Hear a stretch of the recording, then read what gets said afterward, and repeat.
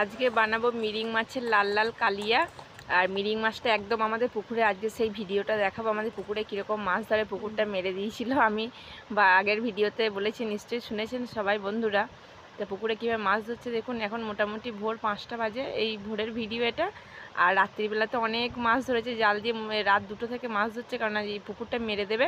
ওই জন্য সব মাছ বাজারে তুলে বিক্রি করে দেবে। সেই সে দেখায় আমি যে কত মাছ ধরে নিয়ে এসেছিল। এটা ভোরে আর রাত্রিবেলাতে ভিডিওটা হয় না, কারণ পুকুরের মধ্যে অতটা আলো আসবে না, তো অন্ধকার, তাই ভিডিওটা আমি করতে পারিনি। কিন্তু ভোরের ভিডিওটা দেখুন কেমন জেলেরা মাছ ধরছে, কেমন জাল দিয়ে। আর প্রচুর প্রচুর মিরিক মাছ ছিল, চাষ করেছিল, এইবার পুকুরটা মেরে দিয়ে আবার নতুন করে চাষ করবে, মাছ ফেলবে। তো দেখছেন যে কত মিরিক মাছ, এরকম বস্তা বস্তা মিরিক মাছ, এগুলো সব কিন্তু পোনা মাছ নয়, এগুলো হচ্ছে মিরিক মাছের বাচ্চা। সব বাজারে দিয়ে এসছে আর এখন মোটামুটি রাত দুটো বাজছে, এই যে ভিডিওটা করেছি, তখন দুটো বাজে, তখন এই মাছগুলো নিয়ে এসছে। সব বস্তায় ভরছে পাঁক ফাঁক মাখা দেখছেন। এবার আমি কিছু মিরিং মাছ নিয়ে নিয়েছি, নিয়ে বেছে নিয়েছি। আজকে যেহেতু লাল লাল কালিয়া বানাবো, তার রেসিপিটা একদম অন্যরকম হবে। তা বন্ধুরা দেখতে থাকো। প্রথমে আমি মাছটায় নুন মাখিয়ে দিলাম। আর নুন মাখানোর পর দিয়ে দিলাম হলুদ, আর এরপর দিয়ে দেবো একটু সর্ষের তেল। এবার ভালো করে হাতে করে মেখে রেখে দেবো। আর আমার চ্যানেলে যদি ভিডিও ভালো লাগে, গ্রামের ভিডিও দেখতে ভালো লাগে, রান্নার ভিডিও ভালো লাগে, চ্যানেলটা অবশ্যই সাবস্ক্রাইব করে নেবে, লাইক করবে, কমেন্ট করবে শেয়ার করবে, আমি সব কিছু রিপ্লাই দেবো। এবার ভালো করে মেখে নিয়েছি আর এরপরে কি মশলাটা রেডি করব একবার দেখাই। আমি দুটো বড় সাইজের পেঁয়াজ কেটে মানে চার খণ্ড করে রেখে দিয়েছিলাম। এর মধ্যে মিক্সির মধ্যে দিয়ে দিলাম। এরপরে দিয়ে দেবো তিন টুকরো আদা।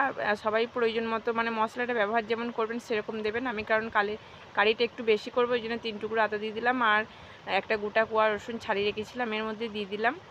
আর দিয়ে দিলাম এক চামচ মতো গোটা জিরে। দিয়ে দেবো স্বাদ মতো লবণ। দিয়ে দেবো এক চামচ মতো হলুদ। এরপরে দিয়ে দেবো এক চামচ লঙ্কা গুঁড়ি।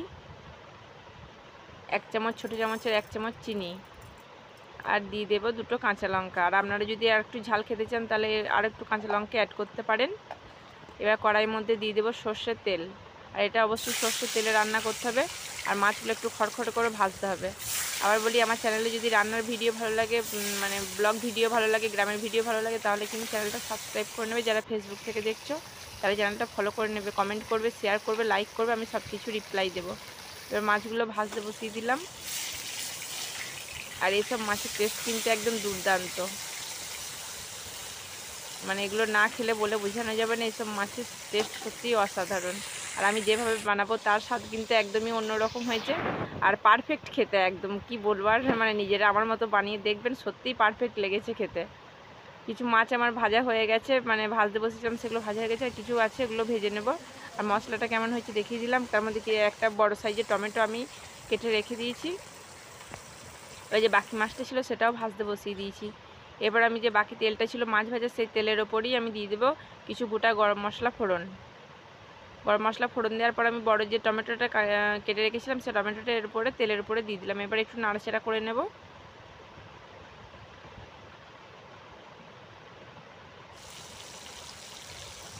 নাড়াচাড়া করার পর যে মশলাটা ছিল, আমি পুরোপুরি মশলাটা তেলের উপরে দিয়ে দিলাম। এবার কষাতে থাকব। আর হ্যাঁ একটা কথা বলি, কিন্তু মশলাটা কিন্তু অবশ্যই ধৈর্য ধরে কষাতে পারেন এখানে আঁশটা কিন্তু মিডিয়াম রেখে দিতে হবে। আঁশটা কিন্তু বেশি বাড়ালে হবে না। মোটামুটি মশলাটা কুড়ি মিনিট ধরে একদম লো মিডিয়াম থেকে লো ফ্লেমে রেখে মশলাটা কষাতে হবে, নাহলে কিন্তু এর স্বাদটা একদম আসবে না, আর এর সেন্ট মানে যে ফ্লেভারটা আছে সেই ফ্লেভারটাও আসবে না। দেখছেন গিয়ে মশলাটা কতটা কমে এসেছে? এভাবে কষিয়ে নিয়েছি, এবার মিক্সির বাটিটা ধুয়ে যে জলটা ছিল আমি এর মধ্যে দিয়ে দিলাম। এবার গুলিয়ে নেব ভালো করে মশলাটা। এবার যখন ফুটতে শুরু করবে, তার উপরে দিয়ে দেবো এক থেকে দু চামচ মতো কাশ্মীরি লঙ্কার গুঁড়ো। যেহেতু আমি মিরিং মাছের লাল কালিয়া করব লাল লাল কালিয়া, ওই জন্য যেন মানে কালারটা একটু আনার জন্য আমি দু চামচ মতো কাশ্মীরি লঙ্কা গুঁড়ের মধ্যে দিয়ে দিয়েছি।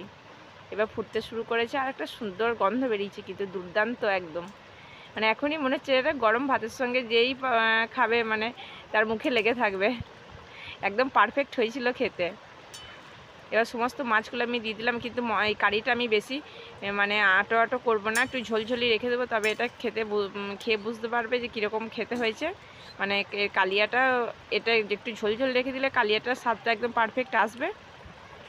এবার ফুটতে শুরু করে দিয়েছে।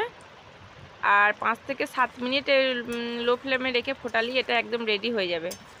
এবার আমি ভালো করে মাছগুলোর মধ্যে মশলাটা মানে নাড়াচাড়া করে দিচ্ছি যেন মশলার মধ্যে সমস্ত মাছগুলোর মধ্যে মশলাটা ভালোভাবে মিশে যায়। আজকে হয়ে গেছে আমার, মিরিক মাছের কালিয়া।